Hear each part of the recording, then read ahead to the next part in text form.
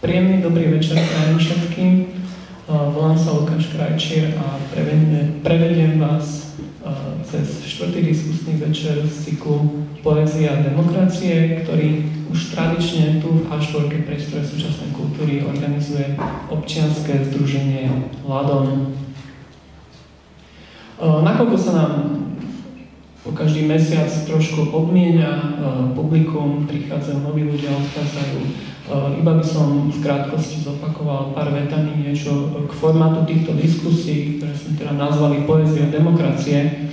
Um, každý mesiac vám vyberáme uh, jedného spisovateľa, Eh, slovenského spisovateľa, ktorý tvoril v eh, prvej polovici 20. storočia, konkrétne v období demokratického Československa, teda v období eh, medzivojnovej republiky. A snažíme sa sledovať, a respektíve aj analyzovať takou populárnejšou formou, analyzovať jeho vnímanie rôznych problémov v terajšej spoločnosti, ako korupcia, klientelizmus, nelegálne materiálne a finančné obohacovanie, ale aj ono to známe a to legendárne už našej spoločnosti, ten, ten rozpor medzi politikom, ktorý niečo slúbuje pred voľbami a potom to realitou po voľbách.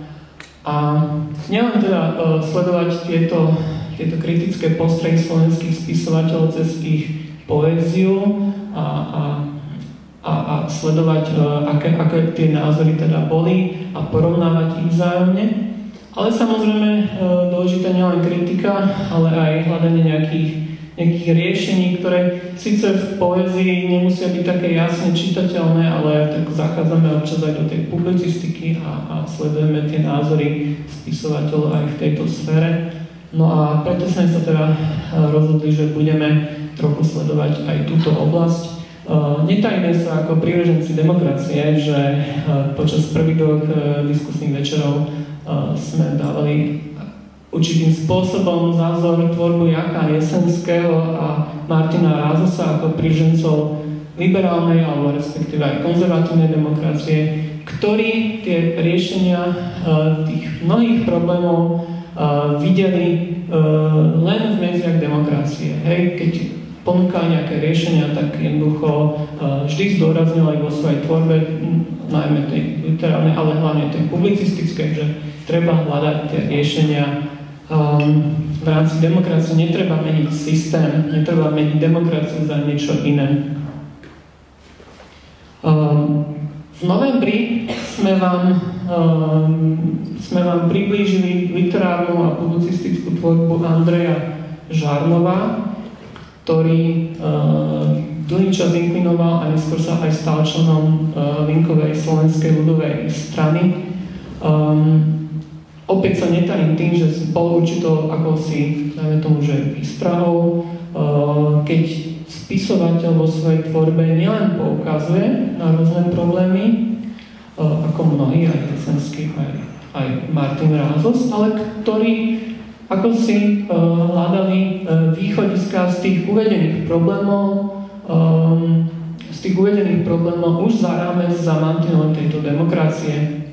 Uh, v prípade Andra Žarnova myslím, že to bolo veľmi čitateľné, keď ako privrženec ľudáckého režimu vlastne sa stával uh, veľmi pozitívne k tým autokratickým tendenciám uh, spoločnosti, ktoré Linková Slovenská strana prezentovala a ktoré sa aj naplno ukázali potom v období Slovenskej republiky 39 až 45. Neostali sme však len pri ňom a keďže tie mnohé problémy, ako som spomenul, kradnutie, hej, ľudovo nazývame, ale aj tie mnohé, že, že, že kameračaty a, a, a, a, a ten klientizm, ktorý som spomínal, uh, určite vám nie je veľmi cudzí, keďže aj, aj súčasná spoločnosť na Slovensku trpí nie je to žiadna nejaká hádanka, nie je to záhada. Myslím, že to každý e, vnímame a reflektujeme aj za posledné roky a, a je to aká, akási trauma aj v tejto spoločnosti a má to veľký dopad aj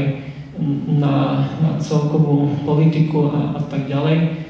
Um, preto sme si vybrali aj ďalšieho spisovateľa, to je Laca uh, ku ku, ktorom, ku ktorému nechcem ja osobne teraz príliš veľa hovoriť, máme tu na to odborníkov, ktorí by nám teda priblížili samozrejme Láca Novomenského ako dlhoročného člena komunistickej strany Československa a trochu nám približia jeho postoje, názory na demokraciu, fašizmus, komunizmus, ale aj na tie spomínané problémy, ktoré som už uvedol ako korupcia, klientelizmus, ktoré mnohí um, považovali za problém demokracie a, a niektorí títo prívrženci, či už lavice alebo pravice, sa snažili riešiť zmenou systému. Ja som v tejto súvislosti teda veľmi rád, že môžeme opäť privítať našich ďalších dvoch hostí. Prvým za, historic, za historickú obec je doktor Tomáš Černák, absolvent štúdia e, na, na Slovenskej akadémie, e, absolvent štúdia Slovenskej akadémie vied na ústave, historickom ústave, pardon. Vítaj Tomáš.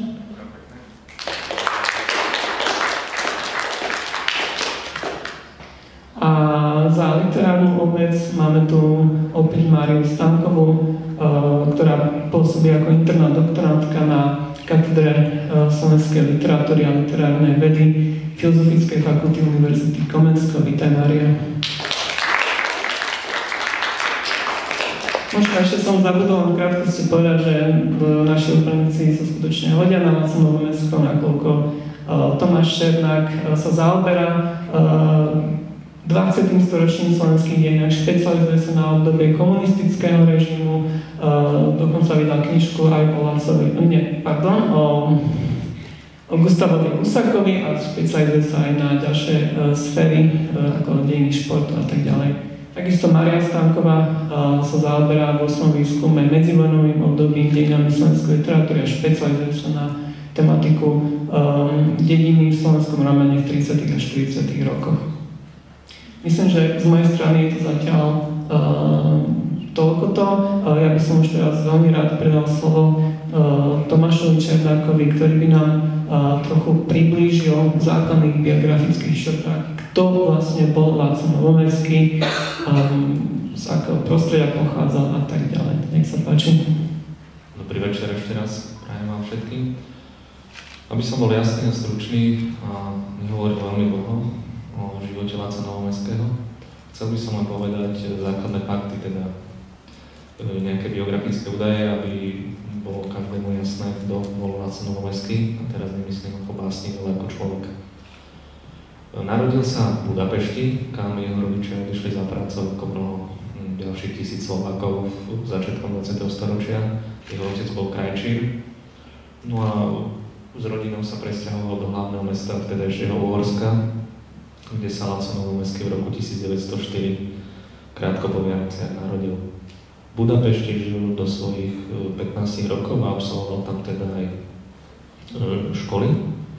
Samozrejme maďarčine, naučil sa teda výborne na maďarsky a práve v Budapešti bol svetkom prvých e, revolučných výbuchov a demonstrácií, ktoré sa v hlavnom meste udiali krátko po skončení Prvej svetovej vojny.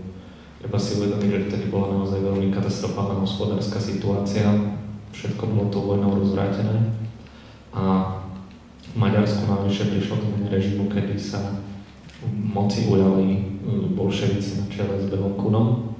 Láco Novomestský ako minulý 15-ročný chlapec bol svetkom týchto mm, revolučných udalostí a začalo mu to imponovať. Začali mu imponovať hesla o rovnosti ľudí, o jednoducho všetky tie marxistické a komunistické ideály a toho ovplyvnil. To bol akýsi začiatok jeho e, revolučnej činnosti, ale jeho príklonu k, ku komunizmu.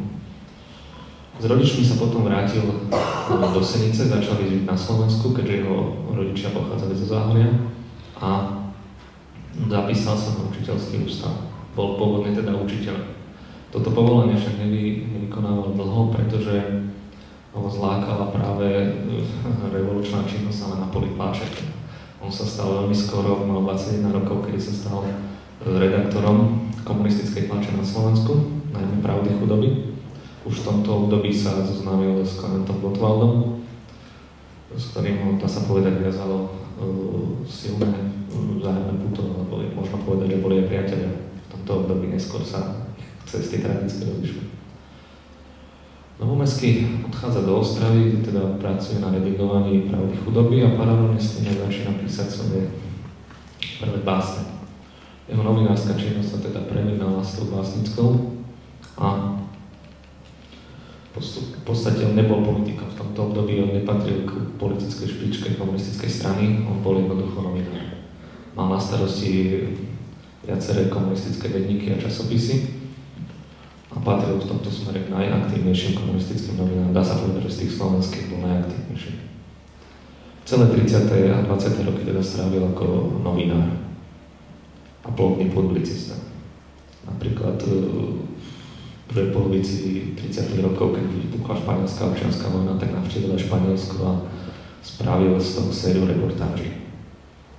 Bol to veľmi vnímavý a citlivý umelec, ktorému nevoňali intriky vysokej politiky a vôbec zákulisné ťahy a machinácie. Jemu nejaká korupcia a podobné veci, klientelizmus boli úplne cudzie. Nehovoria o tom, že komunistická strana bola v tomto trochu na pokraji medzi legálnym pôsobením a ilegálnym, teda keby veľmi chcel, tak by sa k žiadnym takýmto výhodám nemohol dostať. Jednoducho naozaj, kto bol vtedy v komunistickej strane, tak to bolo z presvedčenia a zväčša bol za to perzekvovaný. Po roku 1939 sa presťahoval z Prahy, kde žil a teda viedol komunistickú tlač späť na Slovensko, pretože v protektoráte Čechy a Morava hrozilo zatknutie. Tu na Slovensku bola situácia diametrálne odlišná. Vďaka svojim dobrým kontaktom, keďže medzivojnovom období sa najmä v Bratislave každý s každým poznal a literáti najrôznejších politických smerov spolu sa dávali každodenne vo viechach a v kaviarniach.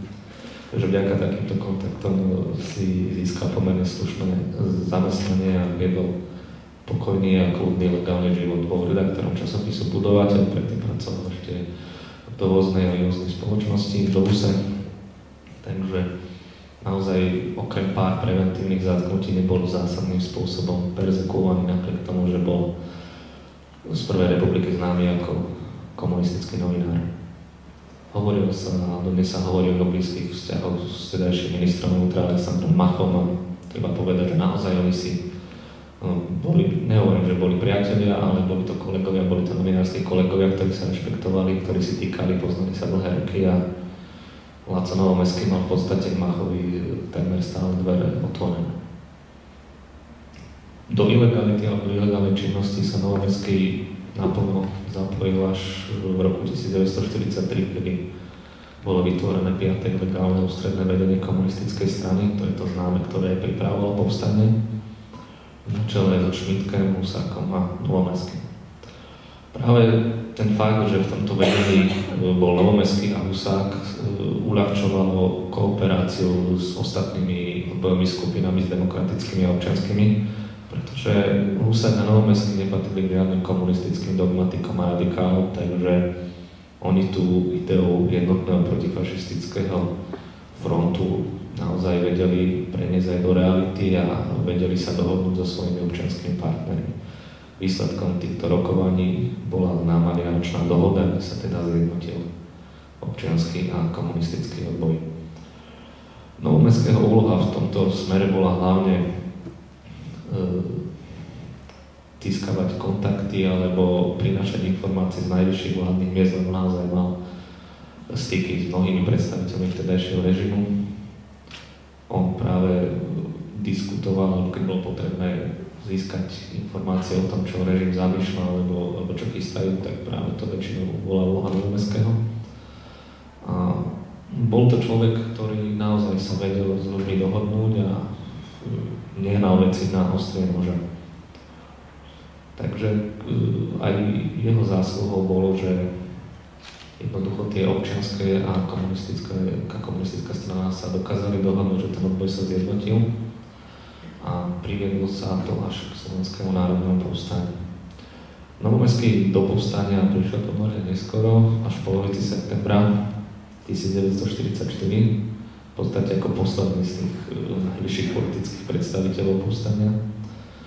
Bolo to spôsobené tým, že on predtým dosť medzi Bratislavou a Senicou a nevedel sa rozhodnúť a stále čakal. Myslel si, že ho bude potrebné v Bratislave, Takže z tohto dôvodu sa jeho jeho odchod na povstalecké územie UNESCO. Po príchode do Banskej Bystrice sa teda zapojil do všetkých štruktúr politických, teda stal sa členom predsedníctva Slovenskej národnej rady a samozrejme aj dostal sa do vedenia komunistickej strany Slovenska, teraz už legálne pôsobiacej. Ani v tom povstane sa nezdržal dlho, on tam v podstate bol asi dva alebo necelé tri týždne, pretože už 7. oktobra odchádza ako člen delegácie Slovenskej národnej rady do Londýna na rokovaniach s prezidentom Benešom. Išlo tam hlavne o to, aby Slovenská národná rada dala teda na známosť svoju akúsi autoritu a predostrela Benešovi svoju predstavu o tom, ako má byť Slovensko usporiadané po vojne. To znamená na princípe rovných rovný, teda Češi a Slováci na istom federatívnom princípe absolútne sa odmietala, odmietal sa teda návrat k predmnichovskej republike, e, k centralistickému riadeniu štátu a k ideológii Čechoslovakie. A práve Novomestský bol ten, ktorý e, Benešovi veľmi jasne predostrel tieto požiadavky Slovenskej národnej rady. On veľmi tvrdo vystupoval za uznanie slovenského národa ako samostatného národa za uznanie Slovenskej národnej rady ako vrcholnej predstaviteľky Slovenska a vrcholnej teda predstaviteľky ozbrojeného odporu voči e, nemeckým okupantom. Neboli to jednoduché rokovania, ale nakoniec sa skončili úspešne a Beneš ustúpil teda aspoň v tom, že uznal slovenský národ a pripustil, že to, ako bude obnovená republika vyzerať, sa dohodne no, v podstate po vojne alebo krátko pred skončením vojny a dohodnú sa na tom všetky relevantné politické zoskupenia. A tak sa aj stalo.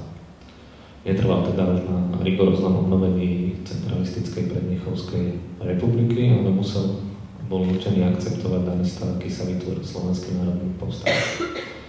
Novomestský po vojne sa stal kvôli aj svojej určitej autorite, ale veľkou nevôľou povereníkom školstva, bol aj predsedom Matice Slovenskej, keď som povedal, že s veľkou nevôľou, bolo to spôsobené tým, že on sa necítil naozaj politikom. On nechcel ísť do politických funkcií, nechcel zastávať ani vysoké stranické funkcie. Stále tvrdil, že on je teda spisovateľ, novinár, básnik a chcel by sa venovať práve tejto činnosti. Lenže komunisti zvlášť potrebovali vo funkciách takých ľudí, ktorí boli všeobecne akceptovaní, ktorí neboli považovaní za radikálov a dogmatikov, ale ktorých akceptovali aj politickí oponenti a novomestský takým bol. Aj keď medzi, aj vo vnútri komunistickej boli určité spory a napätia, ale v tom, tejto fáze, teda vo fáze uh, akéhosi boja o moc alebo prípravy na boj o moc uh, sa novomestský do týchto plánov nehodil.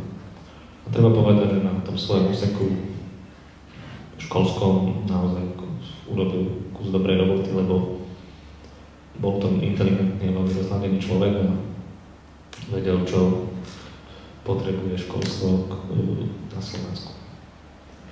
Treba ale zároveň povedať, že on sa vždy držal v intenciách e, komunistickej strany, to znamená intenciách podriadenosti nižších zložiek voči tým vyšším a e, neviem o tom, že by sa niekedy sprenevel rozhodnutiu stranického centra. To znamená, že postupoval v jasnej línii s rozhodnutím a vedením komunistickej strany. V tejto pozícii ho zastihol aj február 1948, kedy komunisti prevzali moc. Z titulu svojej funkcie novomestskej pritom asistoval. No a myslel si, že svítnú lepšie zajtrajšky, ak to mám takto povedať na nadľahčenie, ale najmä v jeho prípade, v prípade aj ostatných jeho kolegov sa stal pravý opak. To znamená, že práve od toho februára 1948 začína pozvolný novomestský plat, ktorý vyvrcholil až jeho zatknutím v roku 1951, kedy sa dostal do skupiny tzv. slovenských buržoáznych nacionalistov na čele s Gustavom Husákom a pripravoval sa s nimi proces. Ten súhrov viacerých okolností prebehol až o 3 roky neskôr a Novomestský bol v ňom odsudený na 10 rokov odňatia slobody. O rok neskôr bol prepustený, dostal milosť alebo bol amnestovaný, avšak dostal sa na slobodu ako stále podmienečne prepustený zločinec. Nemohol sa vrátiť na Slovensko a musel zostať v Prahe. Zamestnal sa tam v památniku národného písemníctví a tam pracoval až pokiaľ mu nebolo umožnené začiatkom 60. rokov vrátiť sa späť do Bratislavy. rehabilitácia buržoáznych nacionalistov, tá stranická politická prebehla až v roku 1963. V podstate do tohto dátumu to boli stále podmienečne prepustení zločinci. A ich činnosť sa považovala stále za, za zlú, chybnú a škodlivú. Až koncom roka 63 prebehli teda tie rehabilitácie a bolo im umožnené vrátiť sa späť do normálneho života. Nie však do politiky. Tam boli stále mimo a myslím, že Novomestský sa nesnažil vrátiť späť do vysokej politiky. Zamestnal sa v Slovenskej akadémii vied, ústave robil v podstate to, čo ho bavilo. Znovu, znovu sa vrátil k písaniu a pracoval teda v oblasti literatúry. Nebol prípad taký ako Gustav Husa, ktorý robil všetko možné, aby sa vrátil späť na najvyššie štátne stranické pozície. A Novomestský robil presne opak. Nemal rád ani veľkú publicitu okolo svojej osoby. Ehm, nemal rád, keď bol veľmi prezentovaný, alebo niekedy zneužívaný týmto komunistickou stranou a vystavovaný ako je predstaviteľ. A viem, že často nechcem, aby mu boli udelované niektoré ceny. Jednoducho nesnažím sa o nejakú publicitu, ale vyhnúť sa tom tomu nedal, bol akýmsi symbol človeka, ktorý si prešiel určitou kalváriou, ktorý bol vo vezení, ktorý bol nechal obvinený a navyše mal stále tú glóriu jedného z organizátorov Slovenského národného povstania. Akýsi veľký návrat vládca Novomestského do toho života spoločenského, kultúrneho, čiastočne politického prebehol v roku 1968. Naozaj stal sa okrem iného aj predsedom Matice Slovenskej. Boli udelené mnohé vyznamenania, ocenenia, znova sa dostával do popredia ako jeden z najslavnejších žijúcich slovenských básnikov. A opäť, ako veľkú autoritu ho krátko po 21. auguste kooptovali aj do predsedníctva UKSS. Opäť to z nebolo najmä preto, alebo hlavne preto, čo sa stalo 21. augusta 68. Ten vstup vojsk na naše územie ho v podstate zlomil. Možno čiastočne prišiel aj niektoré svoje ideály, pretože on si ten sovietský zväz veľmi dlhé, dlhé roky realizoval.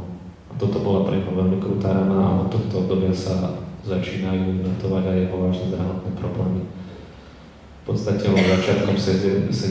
rokov už úplne vypadol z politiky, z verejného života a trápil sa doslova, trápil sa, jeho choroba ho priputala na lôžku a v podstate na lôžku aj svoj život dožil. Zomrel v roku 1976 ako 72 ročný. Bolo to završenie veľmi dramatické životné púte jedného básnika, ktorého tiaľ nechtiaľ istým spôsobom politika zlomila a ktorého, ktorého politika priviedla do väzenia a ktorá mu čiastočne zničila život, a sa tak povedať, a zdravie. Napriek tomu si myslím, že Láco Novomestský najmä ako básnik, spisovateľ a novinár, patrí k tomu najlepšiemu, čo sa na kultúrnom poli v Slovensku v 20. storočí profilovalo a patrí k najväčším básnikom slovenským dejinám vôbec, ale o snáď je zase kolegyňa. Ďakujem pekne. Ďakujem za tento širší vstup. Myslím, že e, k tomuto úvodu bude aj celkom ešte dosť otázok, dá sa na to e, celkom dobre nadviazať aj v prípade e, vzťahu Laco Novomestského Klementovi Gottwaldovi alebo ďalším teda komunistickým politikom, ktorí tvorili veľmi kľúčovú úlohu v jeho živote, v jeho kariére. Um, čo ako tuto na konci naznačil Tomáš, uh, teda skutočne k popredným slovenským spisovateľom 20. storočia. Myslím, že Maria Stanková nám to dá cez jeho tvorbu, cez prezentáciu jeho tvorby dosť najavo, že skutočne to bol majster umeleckého slova skôr než sa teda ešte dostaneme k tým básňam, ja by som ešte teda poprosil Máriu, keby nám trošku priblížila, či Laco Novomensko môžeme zaradiť do toho oného, oného známeho žánru uh, politickej liriky a satíry, prípadne do nejakého iného, ktorý súvisí s jeho tvorbou, ktorý reflektuje aj spoločenské problémy. Um, nech sa páči, som možno začala nejakú definíciou politickej. Je to vlastne jeden z najzákladnejších žánrov liriky, ktorý sa formoval hneď po začiatku kedy vzniká nejaká umelecká spisba. Začiatky sa datujú do antiky, do Ríma. Je pre ňu veľmi príznačné to, že sa rozvíja najmä v historicky a politicky pohnutých časoch. Čiže keď sú nejaké vojny a povstania, tak je veľmi pravdepodobné a je to vlastne overené, že dôležití spisovatelia a dobrí spisovatelia, aj menej dobrí spisovatelia sa vyjadrujú k politickým otázkam. A pre politickú liriku je typická angažovanosť, aktuálnosť, rôzna taká retorickosť, pátos, mm, obviňovanie nepriateľa, na druhej strane proste velebenie toho dobrého, toho nášho. To je možno taká základná čita. Pri Lacovi Novomestskom by som možno o satíre nehovorila, pretože v jeho prípade je tá poézia veľmi jemná, čo sa týka nejakých politických nárážok a kritiky. Pre ňu je typická sociálna problematika. Vlastne nejaké zdôrazňovanie rôznych sociálnych problémov, ako si ukážeme na jednotlivých básniach. Čo je ale treba si uvedomiť, že práve táto politická, nazvime to politická funkcia literatúry, sa rozvíja, keď si zoberieme slovenskú literatúru už od samého začiatku. Keď si vezmeme Slaviceru, tak to bol taký prvý veľmi mm, text s politickým pozadím. Neskôr pre Štúrovcov bola poézia a próza vlastne boli pre nich nástrojmi, ako dať vedieť o politických, sociálnych problémoch, ktoré boli. A bola literatúra jedným zo spôsobov, ako vlastne vymeziť národ, ako suplovať tie funkcie, ktoré politika nerobila, keďže neexistoval ako keby uh, slovenský, ne, neexistovala forma slovenského štátu alebo vlastne nejakého národného, nejaká forma. Takže táto funkcia literatúry bola veľmi dôležitá od toho 19. storočia. V dejinách sa zvykne písať, v dejinách slovenskej literatúry, že v roku 1918 mal nastať zlom. A to je tiež veľmi dôležité zamyslieť sa nad tým, ako členíme slovenskú literatúru. Že väčšina tých medzníkov sú politické medzníky, ktoré potom aplikujeme na literatúru. To samé o sebe dosť hovorí.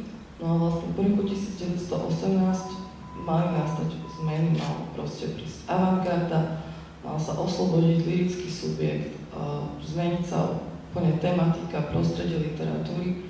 A o tom, že to úplne nebolo pravdou, vlastne svedčia tieto naše štyri večery a tento posledný o Lacovi Novomestskom tiež, pretože aj v medzivojnovom Československu a neskôr slovenskom štáte spisovateľi a intelektuáli potrebovali vyjadriť svoju povedzme, že nespokojnosť, alebo proste potrebovali dať najavo svoj názor na politickú situáciu a takýmto spôsobom ovplyvňovať alebo snažiť sa ovplyvniť čitateľov teda vlastne obyvateľov Slovenska alebo Československa.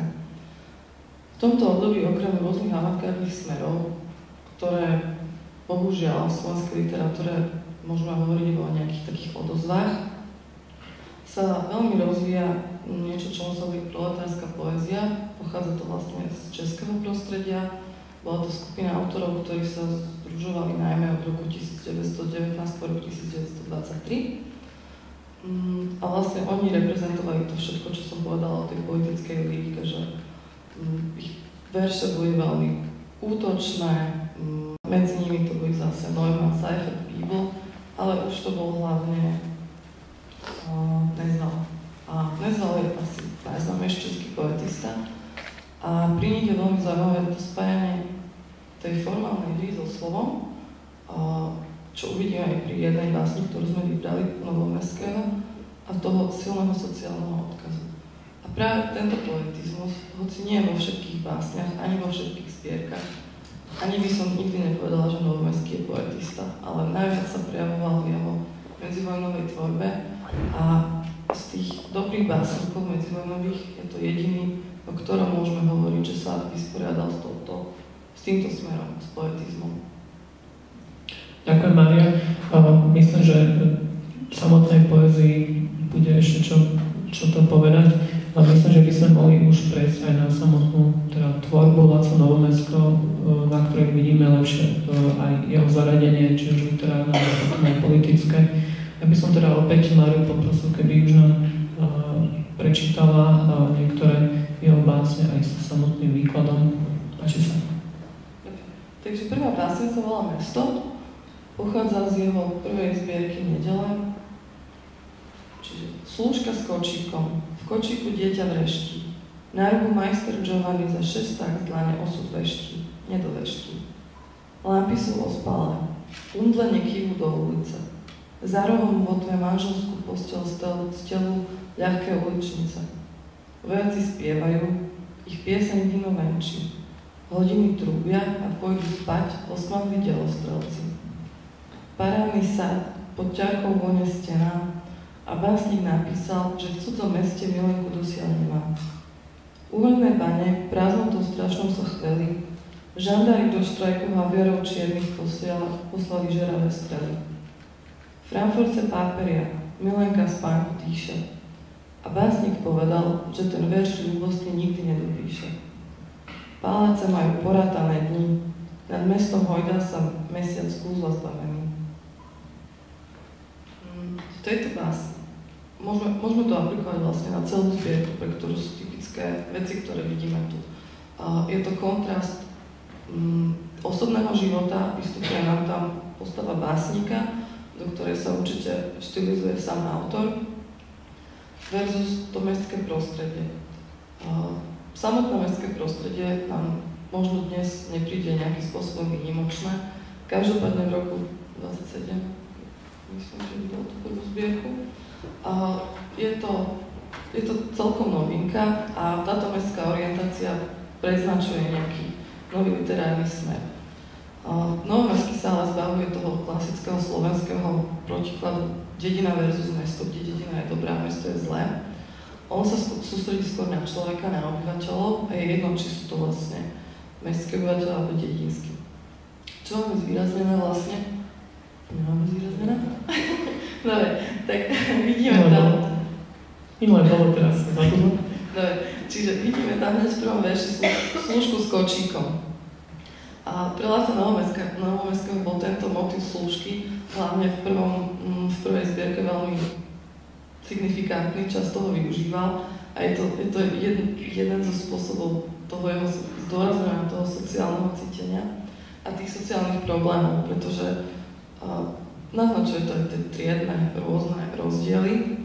Nebudem sa k tomu vyjadrovať, že tam implicitne proste povedané slúžka s kočíkom, nevieme nič viac o nej, a samozrejme máme tam nejakého vežca, čiže celkom neférové okradanie ľudí. Potom tam máme ľahké uličnice, nejaké prostitútky, ktoré stelu manželskú postel. Ďalší klasický motiv, alebo veľmi častý novomestského sú vojaci, vojaci na uliciach v meste. A ešte je tam dôležité to, že je to v cudzom meste a básnik Milenku dosiaľ nemá pre ňo je veľmi zásadné to prelínanie sa toho subjektívneho a objektívneho. Že on síce hovorí o tých spoločenských problémoch, o tých sociálnych nerovnostiach, ale vždy to nejakým spôsobom zdôrazňuje aj tým svojim, tým, čo cíti ten básnik. To predstavuje ako keby ten ideál a tá realita je vlastne to, to objektívne. Potom tu máme vlastne pripomienku nejakého štrajku baníkov, uholné bane a žandári. To je vlastne tá aktuálnosť tej, tej politickej poézie. Je to tá prepojenosť s tým, s tým dianím a je to proste jasný odkaz na niečo, čo sa v tej dobe dialo. A čo je na Novomestského možno trošku silné, na Žarnova vôbec nie, tak to je tvrdenie, že paláce majú porátané dni. To je ďalšie to jeho vyjadrenie k tej sociálnej nerovnosti a k tomu, že proste niektorí ľudia si žijú inak ako chudobní ľudia, s ktorými Veľmestský veľmi súcitil. Ja myslím, že takýto vstup nám začal stačí na tejto prvej básni v podstate a na poslednej strofe, že sa aj odrazíme ďalej.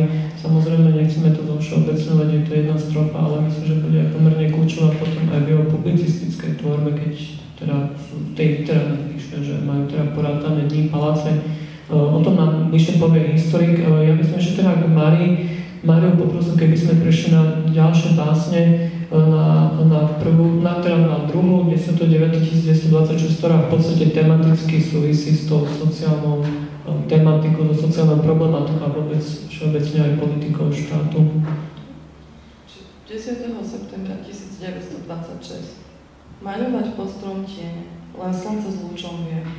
Na veži zvoná hlasom chodu zvestuje poludne. Rozjari rany hrudy, človekom ocelešla. Krv zeme tečie do stodoly, rany sa zacelia. Smiteri socha Krista nebojným hlasom mier. V aleji živé listy stromov ofúkal september. Do žltých plachet lístia hrízi sa vietor clí. Zamával konár smutný pozdrav, list prachu zakotví. A ľuďom je to jedno, život sa nemení. Po boji s tvrdou hrudou v lete príde hlad jesení. Štrajk hýbe Britániou, písal mi MC Beast.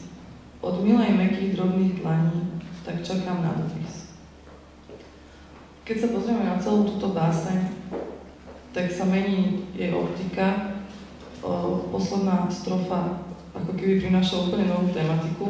Na jednej strane je to nejaký štrajk v Anglicku, a na druhej strane sa zase vracia k tomu subjektívnemu a zdôrazňuje to tým, že čaká ten autorský subjekt nejaký dopis od svojej milenky. Je zaujímavé, ako Novomestský pristupuje k cyklickému vnímaniu času, ktoré bolo veľmi typické pre medzivojnú slovenskú prózu najmä, pre románopiscov, lebo vlastne ich čas sa riadil prácami na poli. A to, čo oni považovali za istotu, tu Novomestský hodnotí pomerne negatívne a hovorí o tom, že o boji s tvrdou hrudou v lete príde hlad jeseny, čo je jasný náznak toho, tých polnohospodárských prác, v ktorých on už nevidí istotu, čiže je tam cítiť nejaká dezilúzia toho autorského subjektu.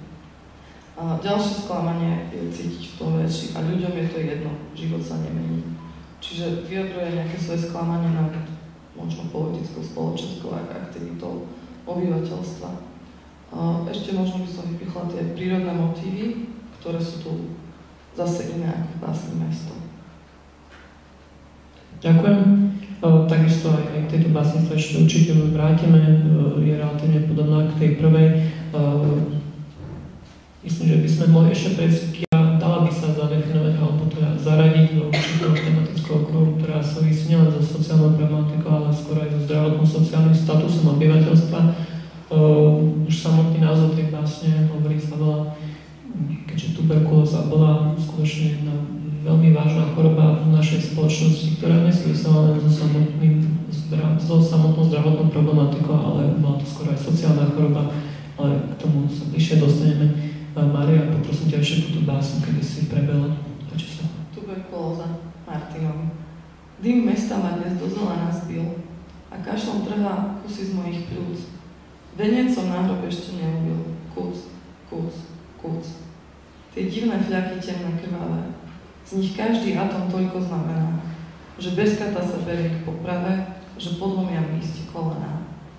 Lež kým ma závrskne mi zimný vzduch, a kým ma mámi vôňa jasných tuch, už zatiaľ spínam peste zaťaté a zatiaľ pijem víno naliaté. Nech nik nebadá mojich nálícach, že v prsiach sedí samozvanec drah. Nech zdá sa, že mám ráno z ocele, nech lica zdajú sa byť veselé, nech svieže dievča známe z ulice, nech cudzích, cudzích ľudí tisíce. Nepovie o mne niekdy večer snáď, ach, taký mladý musí umierať. Na tejto básni je už vidno tá hra s tou formou, najmä v tom kuc, kuc, kuc, čo má vlastne znázorňovať kašel, a potom v poslednej strofe to opakovanie nech na začiatku veršov. A Novomestský túto báseň napísal pod, myslím si, že nejakým vplyvom smutného osudu nejakého študenta, ktorý zomrel na tuberkulózu. A, ale tieto, táto tematika sa ešte vlastne prejavuje v ďalších jeho básniach. Na zaujímavé je na nej to, že je pomerne implicitne tam zobrazené, sú vlastne to kašľanie plúca, a všetky tieto uh, fyziologické znaky, by som povedala. A ešte veľmi taký expresívny obraz je to, že v prsiach mi sedí samozvanec vrah. Čiže mm, prejavuje sa tu naplno tá novomestského, ten jeho súcit s tými problémami, problémami sociálnymi a aj zdravotnými. A možno si. Ja si myslím, že to stačí takýto úvod k týmto básňam, hlavne po tej literárnej stránke. Predstavili sme vám teda také, taký výber troch básní, ktoré skutočne odzrkadlovali sociálnu problematiku očami Láca Novomestského Samotná sociálna otázka medzivojnového Československa skutočne trápila mysle mnohých vtedajších elít, či už politických, spoločenských, ale ako sme videli kultúrnych, v prípade Laca Novomestského. Kvôli tematickému rozvrstveniu sme mnohé básne do sociálnej problematiku nezaraďovali ani v prípade Janka Jesenského, ani v prípade Martina Radusa, ktorého táto téma uh, sociálneho rozpoloženia spoločnosti bola skutočne dosť silná ako, ako evangelického farára, ktorý žil na dedine a vnímal uh, bezprostredne mnohé problémy bežných ľudí, ani v prípade Andrea Žarnova. No ale myslím si, že uh, k Lacovi Novomestskému táto téma priam úplne prináleží, keďže E, celý svoj život zasvetil e, sociálnej politike, či už ako politik alebo ako spisovateľ. E, ale pekne späť k tým básňam, to už je teraz myslím asi kľúčová otázka aj na historika, na Tomáša.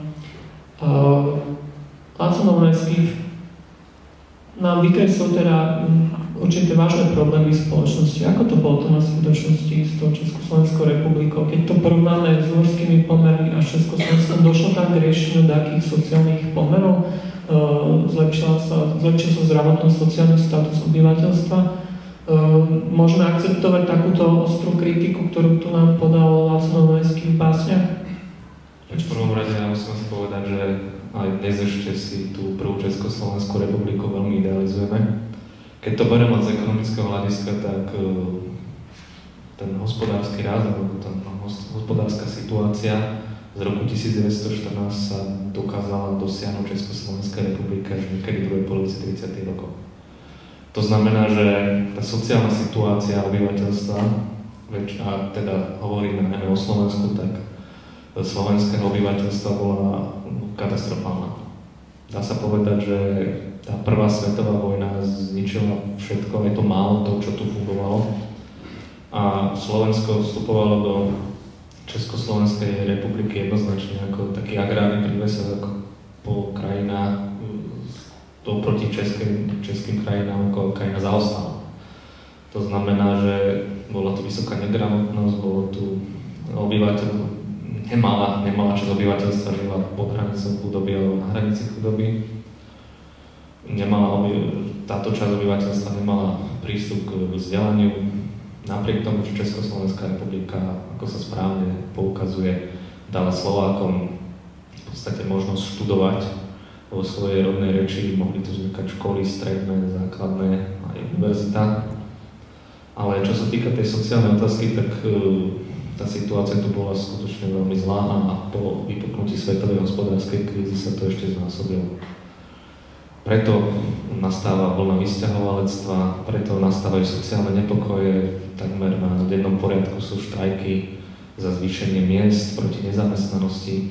A toto boli všetko otázky, ktoré komunistická strana veľmi šikovne využívala a na ktoré poukazovala ktoré boli, ktoré boli hlavnou agendou.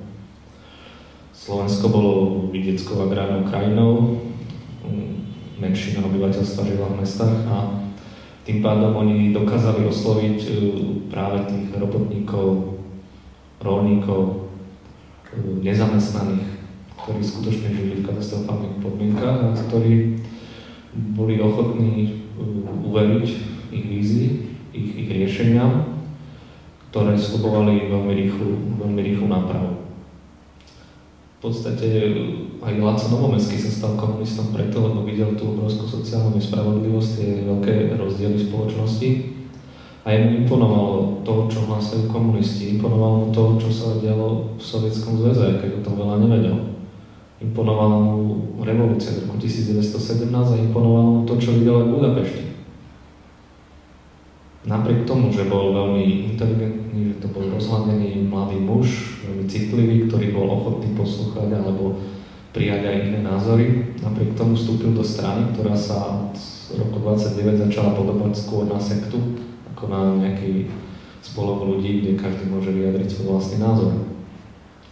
Láco Novomestského priviedol k redaktorskej činnosti práve Klement Gottwalda po nástupe Gotwalda do vedenia strany v roku 1929 na tom známom 5. zjazde sa začína proces tzv. bolševizácie komunistickej strany Československa. To znamená, že sa mala pretvoriť na stranu sovietského typu, presne podľa vzoru ruských bolševikov a mala sa snažiť dosiahnuť presne to, čo dosiahli v roku 1917 e, bolševici pod Leninovým vedením. V tej strane sa absolútne nediskutovalo, tá strana fungovala, ako som už povedal, na tom, že nižšie zložky poslúchali bez výhrad tie vyššie a tie vyššie poslúchali Moskvu. Takže tá strana bola v podstate len prevodovou pákou ruských alebo sovietských bolševikov tu v Československu. Láco Novomestský bez výhrad podporil um, Gotwaldové uh, vedenie strany, nikdy proti nemu nevystúpil, Gotwald považoval za svojho priateľa a presne v týchto intenciách aj písal do komunistickej tlače. Treba si uvedomiť, že komunisti v Československu prvej polovici 30. rokov a koncom 20. rokov Československu za produhu imperializmu nenechali na tomto systéme suchú ani nitku. Netajili sa tým, že systém, aký vládol prvej ČSR, chcú povaliť a nastoliť diktatúru proletariatu. To v praxi znamenalo, neobmedzenú moc komunistickej strany podľa sovietského typu. A toto isté presadzoval v tlači a vo svojich článkoch aj Laco. On sa nejako neumýkal z rámca ostatných komunistov. Takisto nepoznám prípad, alebo neviem o tom, že by niekedy vyjadril na verejnosti pochybnosti o, o procesoch, ktoré sa diali v Sovietskom zväze, politických procesoch, kde boli obviňovaní takí zaslúžili členovia bolševickej strany, ako boli Zinoviev, Kamenem a Bucharin, ktorí skončili na popravisku. Tie procesy sa tu brali ako správne, oni boli dotknutí, boli považovaní za zločincov, špionov, vrahov a neviem čo všetko. A tomto období naozaj ani Novomestský, ani Klementy sa nikto iný si e, nedovolili voči tomu namietať a považovali to za správne. Ak sa už v komunistickej strane našiel niekto, kto, si dovolil vysloviť pochybnosť, tak jednoducho z tej strany vyletel a po prevzatí moci mu to spočítal. Novomestský teda išiel úplne v intenciách e, vtedajšieho vedenia KSČ na čele s Gotwaldom. A treba povedať, že boli naozaj veľmi dogmatickí, najmä v tej prvej polovici 30. rokov. Ako som povedal, čo sa najhorší systém, aký môže byť, neustála kritika všetkého. Samozrejme, mnohom bola aj oprávnená, pretože nebolo normálne, aby sa do protestujúcich e, demonstrantov strieľalo, aby boli také katastrofálne sociálne podmienky, aké boli. Ale to nič nemení na tom, že tento režim jednoducho chceli, chceli zlikvidovať a nastoliť e, svoj monopol moci. Ono sa to čiastočne zmenilo v polovici 30. rokov, kedy nastala totálna zmena a komunisti v Československu opäť pod vplyvom Moskvy začali hlásať e, jednotný protifašistický front, čo súvisel samozrejme s nástupom Hitlera moci v Nemecku. To znamená, že Václav Novomestský bol nutený realizovať aj totálne zmeny z hodiny na hodinu. Jeden, jeden deň e, hovoríte o sociálnych demokratoch, že sú to sociálfašisti a najväčší nepriatelia e, revolúcie a druhý deň e, hovoríte o tom, že sú to vaši najväčší spojenci v boji proti fašizmu a proti extrémnej pravici. Toto bola súčasť komunistického systému, systému komunistickej strany a Lacen Novomestský na tomto všetkom participoval ako novinár, ako redaktor. Takže z mojej strany zatiaľ toľko.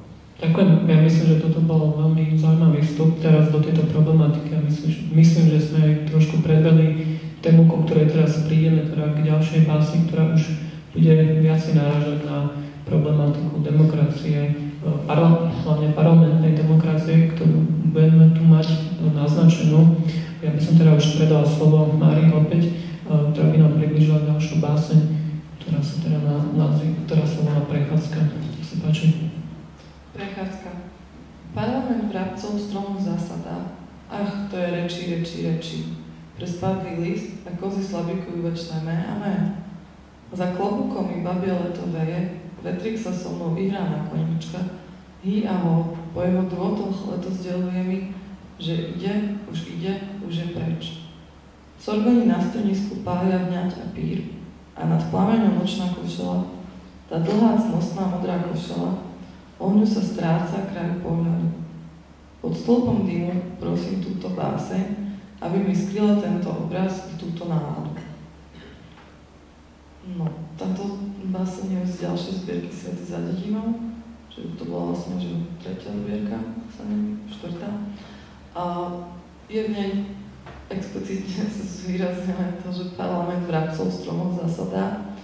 A je to asi jedna z mála, určite jedna z mála básní, ktorých cítime u novomestského nejakú politickú satíru, pretože toto prirovnávanie nejakého politického systému nejakému zvieraciemu svetu je pre neho veľmi nezvyčajné. A to, že vybral vrabce a kozy, to tiež niečo naznačuje. Vidíme tu tú hru s rovnoformálnou stránkou, ktorá ako keby mala odľahčiť tú závažnosť témy, ktorú, o ktorej píše. A znovu je tu lirický subjekt, ktorého sa to všetko dotýka a prežíva to. A znovu tu máme tú tému jesene, ktorá proste symbolizuje nejakú zmenu k horšiemu, čo sme videli aj v tých predchádzajúcich básniach. A cez rôzne tieto prírodné motívy sa vlastne snaží veľmi symbolicky a metaforicky približiť nejakú politickú situáciu, ktorá očividne nebola podľa jeho predstav.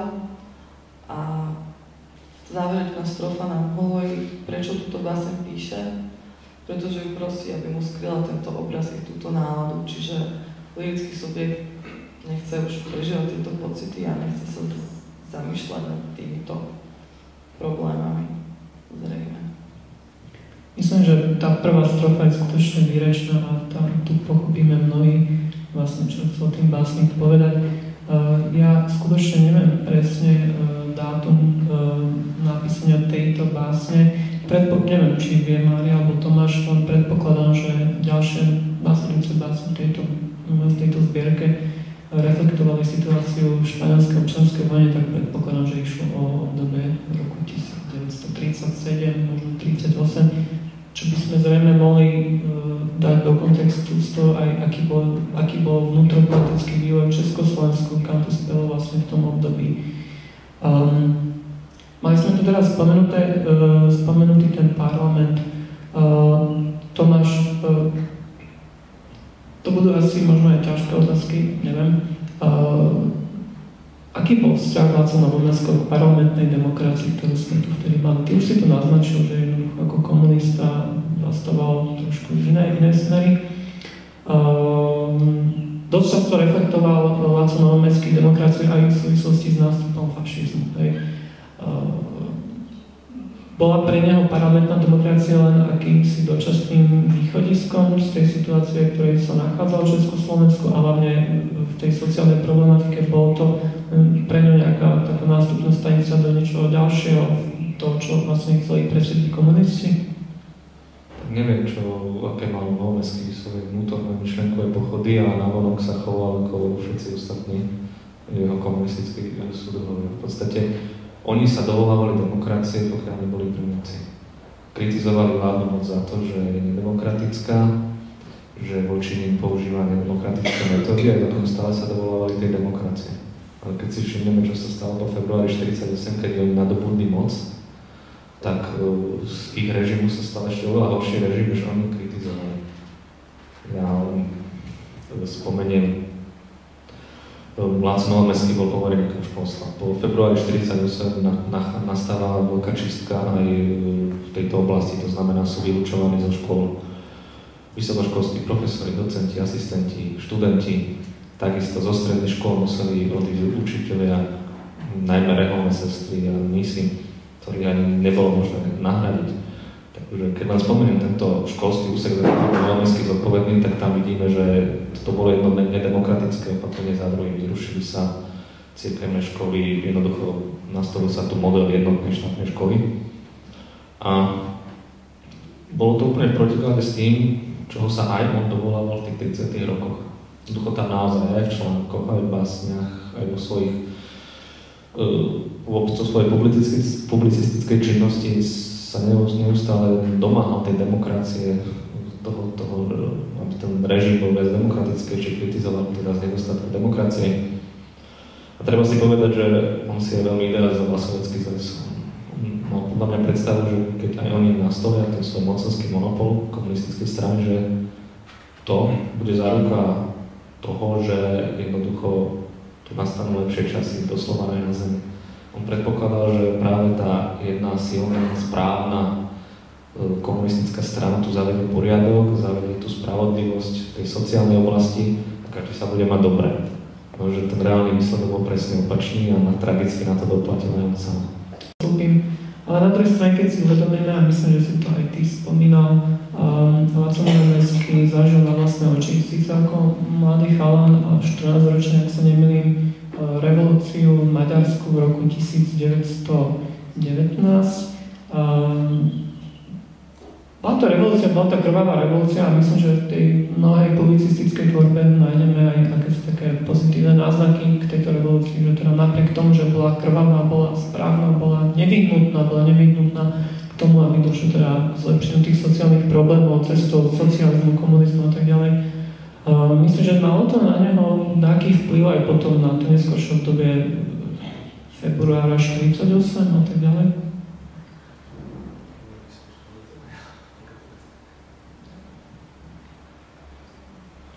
Tak eh, Novomorský ja stále to bude opakovane nebol politik. On, on nechcel byť politikom a aj po vojne stále tvrdil a písal aj oficiálne teda žiadosti vedeniu strany, že nechce byť politikom a že sa chce venovať spisovateľskej činnosti. On naozaj veril, niekedy až romanticky, komunistickým ideálom, ako som povedal, veril, že po prevzatí moci komunistickou stranou tu nastane lepší svet. A práve tie jeho romantické ideály vlastne priviedli do radov komunistickej strany. To, čo videl v Budapešti, on videl ten, ten, tú snahu, ktorú komunisti, ktorí proklamovali po totálnej rovnosti, po znárodnení, po, po pozemkovej reforme, tomu imponovalo. A treba povedať, že v začiatkom 20. rokov veľká väčšina vtedajšej mládeže inklinovala k lavici a marxistickým myšlienkam, lebo v nich videla záruku spravodlivejšieho sveta. Takže Novomestského prí, príklad nebol vôbec ojedinelý a do radov komunistickej strany alebo sociálnych demokratov sa hlásili tisíce mladých ľudí.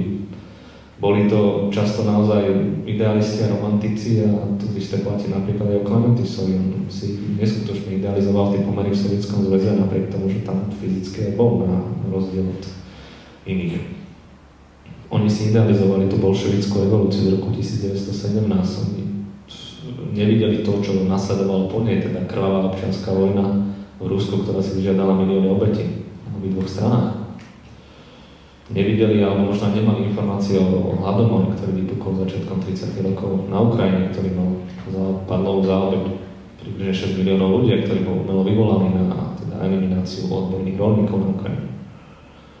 Nepripúšťali si pochybnosti, ako som povedal, o tých politických procesoch, takže naozaj to bol až, až, až totálny romantický idealizmus, ktorému verili, ktorému podľahli a ktorých Klementy sa priviedol na Šibenicu a Novomestského do, do väzenia. Ďakujem. Tak by som možno na toto nadviazal trochu aj iným prehlásením uh, popredného slovenského historika Ivana Kamenca, ktorý sa v súvislosti nielen s Vácom Novomestským, ale s mnohými umelcami onej doby, či už medzivojnového obdobia, ale aj, aj, aj Slovenskej republiky 39-45, uh, vyjadril, vyjadril k tej, tej onej známej téze, že mnohí spisovatelia sa dali do područia určitého totalitného režimu. Citujem.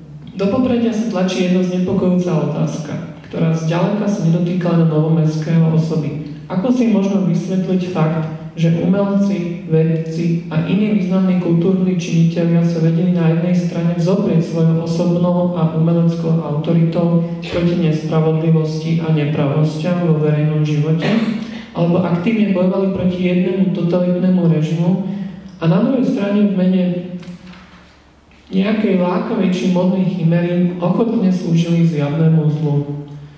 Myslím, že s týmto prehlásením uh, Ivana Kameca môžeme súhlasiť. Uh, platí to aj v prípade uh, Laca Novomestského, ktorý teda zasvetil svoju prácu v mene komunistickej strany, už ako si aj spomínal, teda bol v úzkom kontakte s Klementom Gottwaldom, ktorý sa teda podujal na, na bolševizáciu strany a prípadne potom aj s Gustavom Husakom.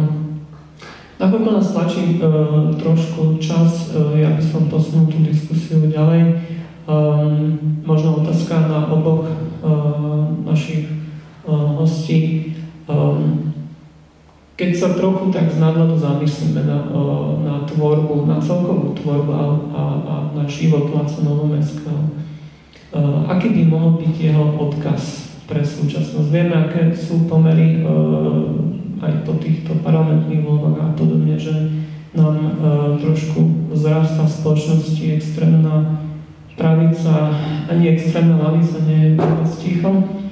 Um, vieme, aké mal názory Laco Novanecký, aj prípadne Jan Paničan a ďalší spisovateľ, ktorí boli vo svojej tvorbe ešte radikálnejší, ešte viac revolučnejší.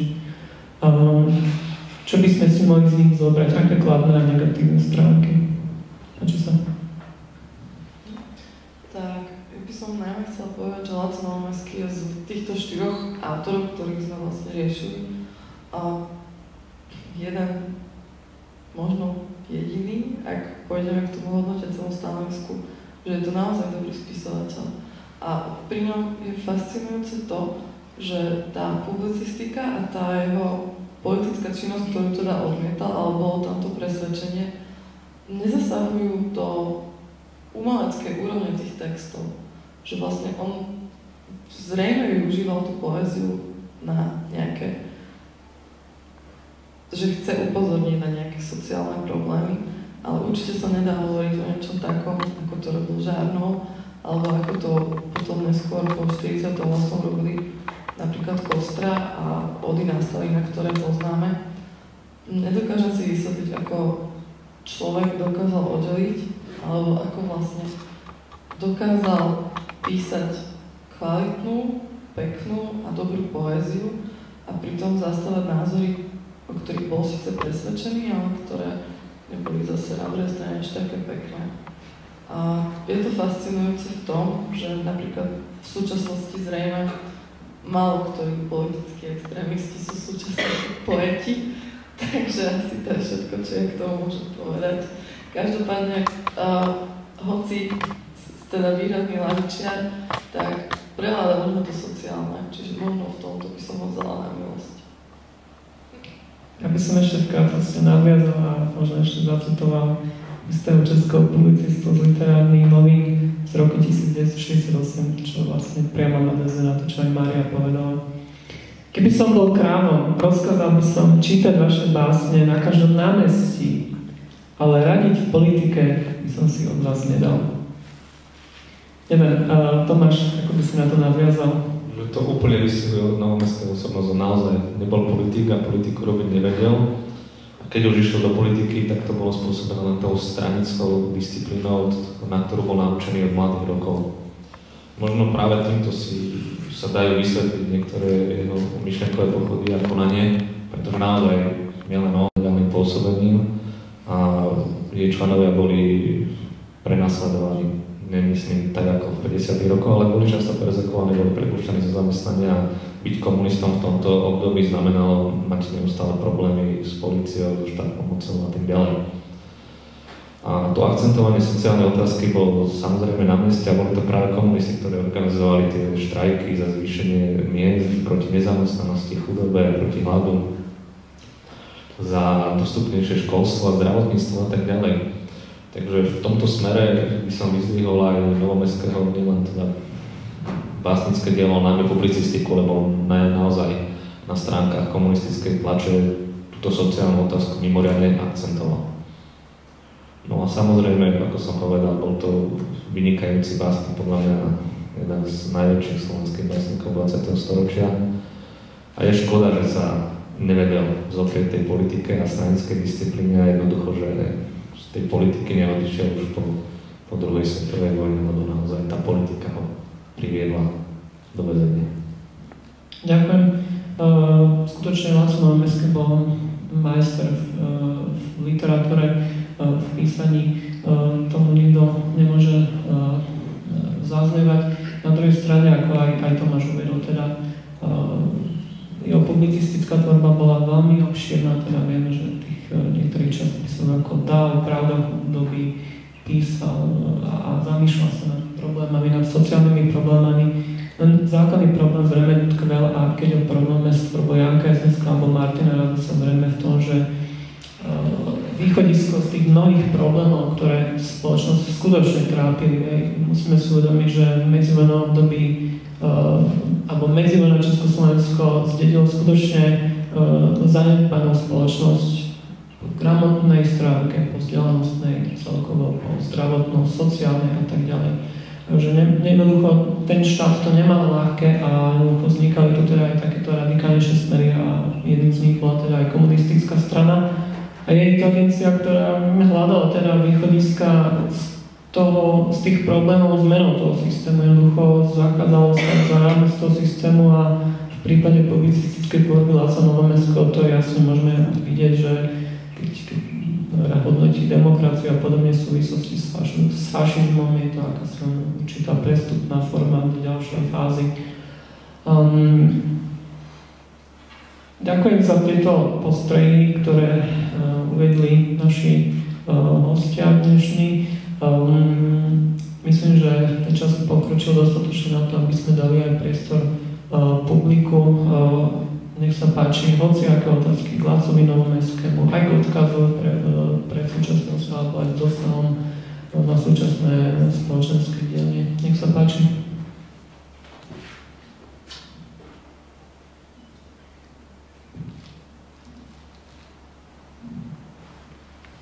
Kto by mal otázku nejakú? Možno, že ja by som sa rád spýtal, že to teraz nie si spomenúť už dosť dávno, kedy som chodil, kedy som sa tým zaoberal. A to jeho meno Novomestský je pseudonym, alebo je to jeho právne meno? To je práve meno. My ho zjavňujeme Láco, v skutočnosti samozrejme Ladislav, prípada Janka Jesenského, bol to Jan Jesenský, župan Jan Jesenský.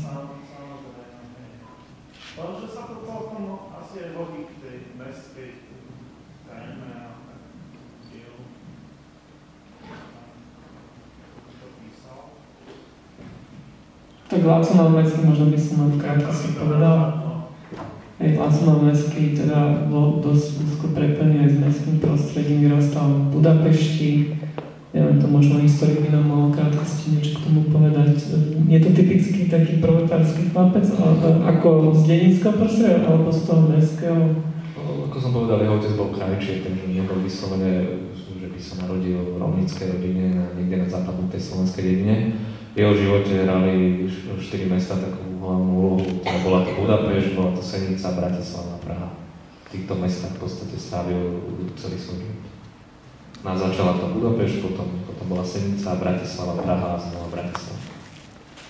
Ďakujem, nech sa páči, ešte stále máme priestor na otázky. Tak ja by som sa opýtal, e, je ten rozmer jeho pôsobenia, ktorý mi tam chýbal, alebo možno som prepočul, bol národný rozmer, ktorý možno tak nevynikol v tých 20 30 alebo napríklad 60 rokoch. Tak tomuto, keby ste mohli v stručnosti povedať, že čo zo hľadiska národného. Tak Láca Novomestský napriek skutočnosti, že pôsobil dlhé roky v Prahe a mal sa manželku Češku, tak e, bol dôsledným odporcom teórie jednotného československého národa a vždy teda bojoval presadzoval samobytnosť Slovákov ako národa. Už v akej štátnej forme to bola druhá vec, oni najmä v, v začiatkom 30. rokov ešte neakcentovali tak tú autonómiu alebo to nejaké federatívne usporiadanie republiky ako potom povstaní. A bolo mu jasné, že to povstanie Slovenska, aké bolo v prvej čase, bolo zlé a bolo na ňom treba niečo zmeniť. Samozrejme, oni uvažovali najmä z toho triedného hľadiska, z toho, z toho, z toho svojho marxistického. Ale v povstaní sa to už jasne ukázalo, respektíve už aj pred povstaním, že a to pomohol iste k tomu aj ten samostatný slovenský štát, že jednoducho Slováci si dokážu sami vládnuť, že sú samobytným národom, nezávislým a že ak teda pokračovať v Československej republike po skončení vojny, tak na princípe rovného s rovným a Laco Novomestský to dôsledne presadzovali v Londýne, v Moskve. Bolo celkom prirodzené, že po vojne sa stal predsedom Matice Slovenskej a túto funkciu potom zastával aj v tých 60. rokoch a v 60. rokoch samozrejme plne podporoval snahu Gustava Husáka o federalizáciu Československa, ktorá bola teda nakoniec aj úspešná a v tomto myslím neuhol ani od centimeter na keď aj v kultúr, bol v redakcii v tomto období kultúrneho života, keď sa tam začala presadzovať téza, že najprv demokratizácia, potom federalizácia, tak Novomestský spolu s Válkom a Vojtichom Mihalikom na protest opustili redakciu, lebo tvrdili, že jednoducho títo dve, dve tézy sa nedajú od seba oddeliť aj ruka v ruka. Takže Novo, Novomestského národný, slovenský národný rozvoj bol skutočne, skutočne podstatný. Ja by som sa spýtal, že či vážne, že subjektívne reflektoval spoločnosti, ktoré sa nachádzalo, alebo objektívne reflektoval svoje tvorbe vnútorný politik versus umelec.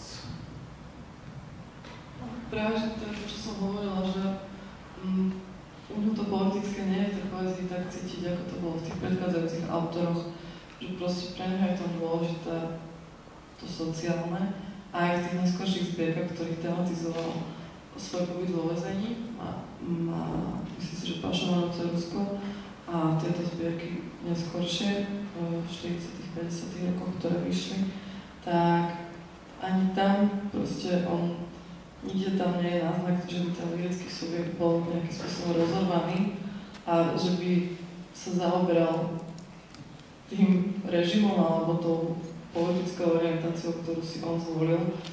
A napriek tomu, že sú to básne z tak nikde tam nie je nejaká silná kritika.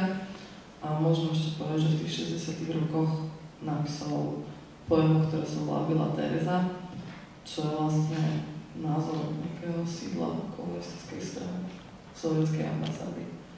Práve to vyniká to, tá jeho poézia, že je veľmi silne sociálna a dokáže pôsobiť na čitateľa, či už formálne alebo obsahom, ale to politické tam neprevažuje. Nedá sa to proste pri Malomskom povedať, že by to bol básnik politik, a on mal takú metaforu poézie, revolúcia, revolúcia, poézie, takže to bola tá jeho cesta, hlavne tá revolúcia, poézie.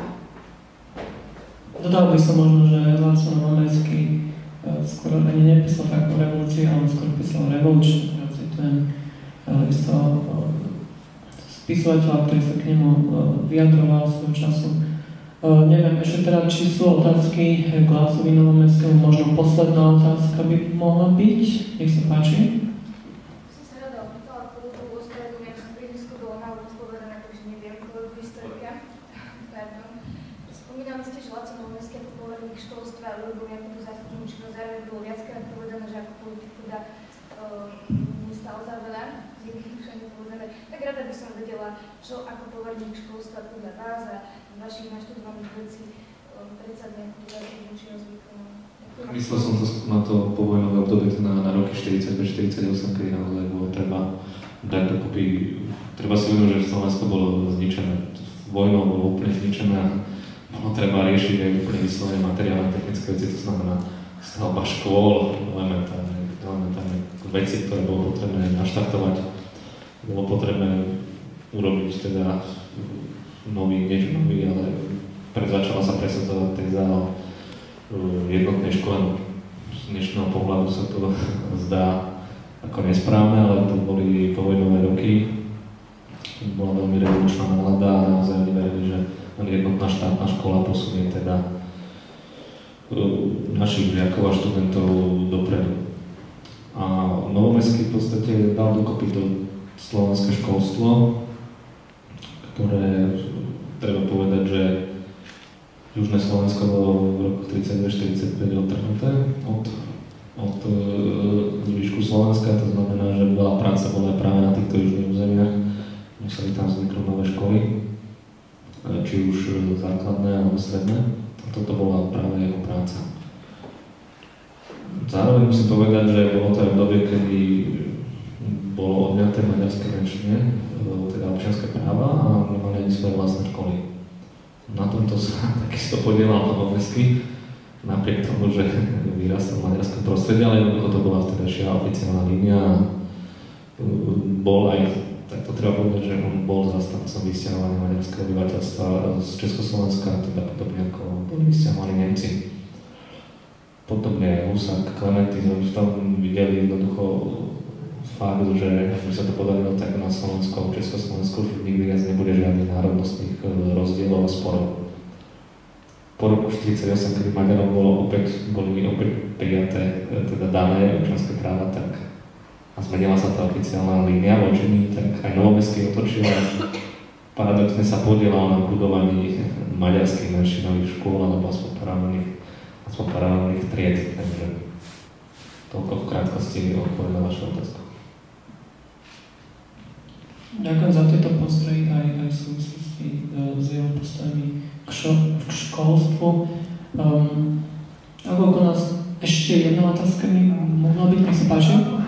Chcel by som uh, podať uh, tento návrh, že Novomecký je tragický prípad básnika, je tragický typ, má tragický životný prípad, ale tiež má tragický um, pocit života.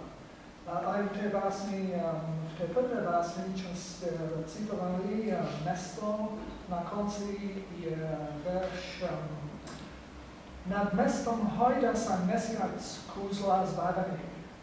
A tak ani ten mesiac nie je v poriadku. Určite nie svet. Um, tak má tragický po, pocit uh, seba, aj sveta, aj napríklad uh, umenia um, pretože aspoň nejaký čas uh, si myslel, že básne sú na konci, že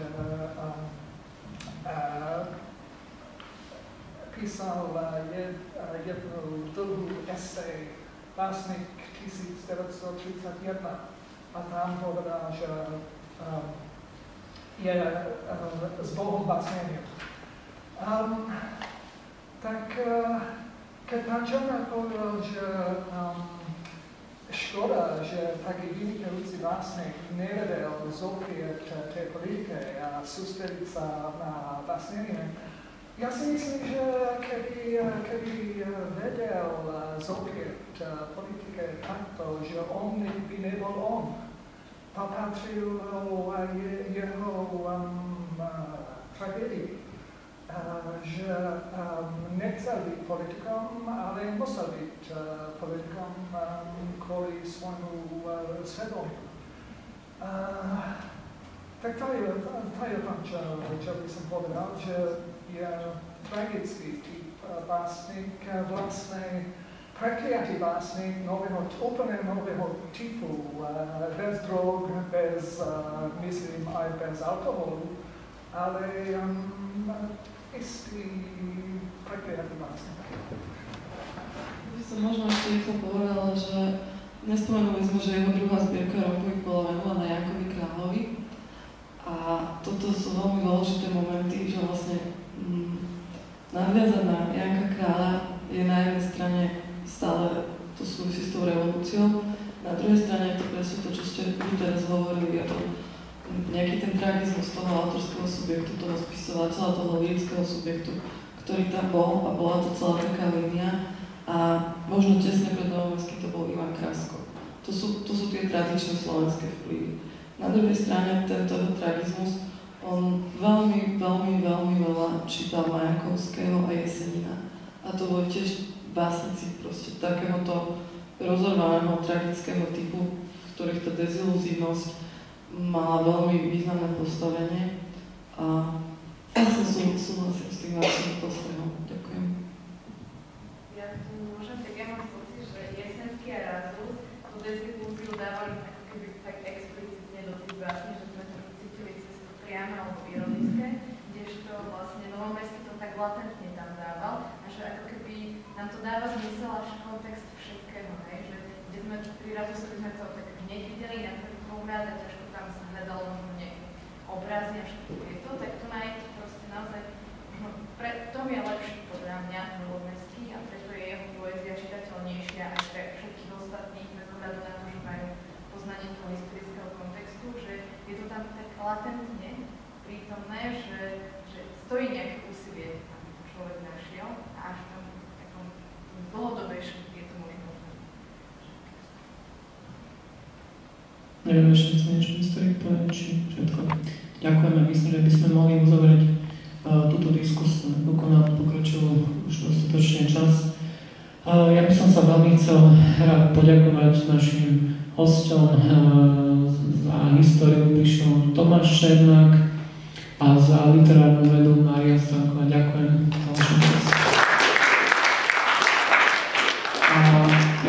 ešte možno v krátkosti, nakoľko ide úplne o posledný diskusný večer z cyklu Poézia a demokracie, len uvedol, že teda ďakujem veľmi e, všetkým zúčastneným, takisto aj organizáciám, ktoré sa podielali na tvorbe poézie demokracie, predovšetkým občanskému združeniu Mladom, ktoré to aktívne zastrešilo, samozrejme aj A4 priestorov súčasnej kultúry, ktorá nám uh, ponúkla priestory úzko s nami spolupracoval a mnohým aj dobrovoľníkom a, a ďalším ľuďom, ktorí, bez ktorých by tieto diskusie vôbec nemohli vzniknúť.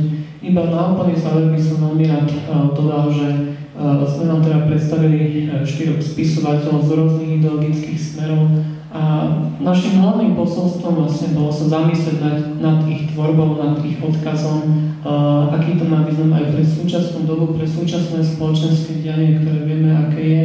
A vieme, že žijeme v období narastajúceho populizmu, narastajúcich konšpiračných teórií a podobných test, či tá kritika, ktorá tu je, niekedy nie je až príliš prehnaná a nezasadzuje aj tomu systému, teda tej našej demokracii dosť silnú ranu, či vlastne aj ako sme videli na tvorbe Ivana Kamenca, e, spisovateľia chtiac, ale aj možno nechtiac, e, demokraciu nepošľapávajú a nedávajú priestor niekedy aj e, radikálnejším formám, radikálnejším systémom, ktoré ako sme videli aj z minulosti v prípade pravice, či už tu bol ľudácky režim alebo lavice, komunistický režim, nespeli k ničomu dobrému, speli skôr do bezvýchodiskovej situácie plnej politických väzňov, ale aj obetí na životoch a tak ďalej. Myslím, že je to skôr také zamyslenie a odkaz do budúcna.